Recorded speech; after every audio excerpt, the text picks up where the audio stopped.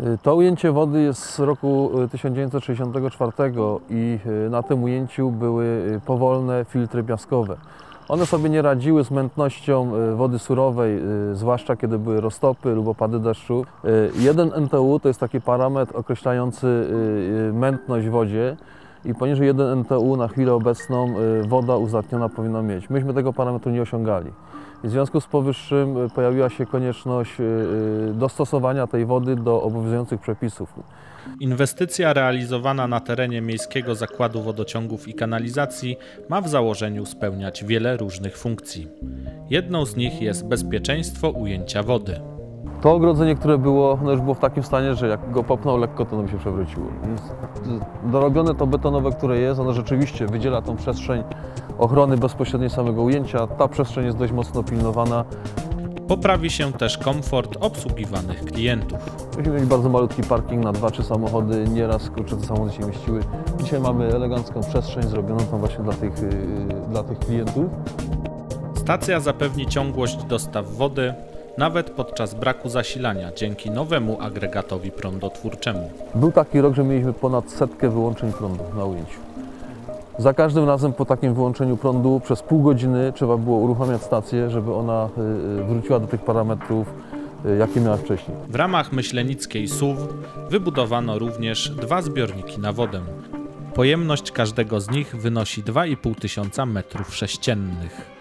My do tej pory nie posiadaliśmy żadnych y, rezerw wody. y, W związku z powyższym y, jakakolwiek przerwa technologiczna, nawet na samym ujęciu, powodowała to, że znów następowały wyłączenia wody, no bo jej nie było. Dzisiaj mamy zbiorniki, gdzie możemy zgromadzić wodę. Ilość tej wody w tych zbiornikach wystarczy nam gdzieś na dwie trzecie doby. Licząc wszystkie inne zbiorniki, które mamy, mamy zabezpieczenia dzisiaj wody powiedzmy na 24 godziny podawania non-stop, bez pracującego ujęcia. Dla, dla wszystkich naszych klientów. Najbardziej istotną częścią inwestycji jest jednak nowoczesna hala filtrów. Funkcjonowanie stacji uzdatniania wody to skomplikowany i złożony proces. Stacja uzdatniania wody składa się z ujęcia brzegowego. y, Stamtąd woda surowa podawana jest pompami na halę filtrów. Na hali filtrów y, woda jest uzdatniana tak, aby wytrącić na niej mętność poniżej 1 NTU. Następnie z hali filtrów podawana woda jest na te zbiorniki, na których właśnie się znajdujemy. Z tych zbiorników y, woda następnie idzie do budynku, y, gdzie jest poddawana uzdatnianiu y, za pomocą lamp, gdzie wytrącane są, że wybijane są bakterie, a następnie za pomocą zestawów hydroforowych woda podawana jest na miasto. I to jest cały schemat obiegu wody na tym ujęciu.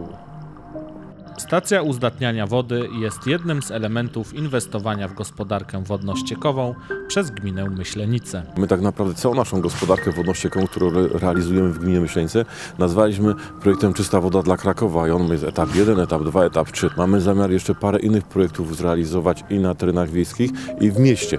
Między innymi też ten SUP. Naprawdę jest to nowoczesna stacja uzdatniania wody, bezpieczna dla naszych mieszka mieszkańców, gwarantująca bezpieczeństwo zaopatrzenia w wodę. Finansowanie uzyskaliśmy z Wojewódzkiego Funduszu Ochrony Środowiska z pożyczki.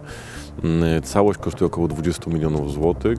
Pożyczka będzie umarzalna, natomiast prawdopodobnie jeszcze na dzień dzisiejszy nie powiem ostatecznie, będziemy aplikować do ósmego projektu Funduszu Spójności i będziemy chcieli e, te pieniążki, które są nasze krajowe, zamienić w pieniądze unijne. Jeżeli zakwalifikujemy się, zostaniemy wy- wybrani w konkursie, to zamienimy pieniądze, które pochodzą dzisiaj z pożyczki z Wojewódzkiego Funduszu na pieniądze unijne. Liczymy na finansowanie około 70%. Według zapewnień burmistrza Ostrowskiego otwarcia stacji uzdatniania wody możemy spodziewać się w kwietniu.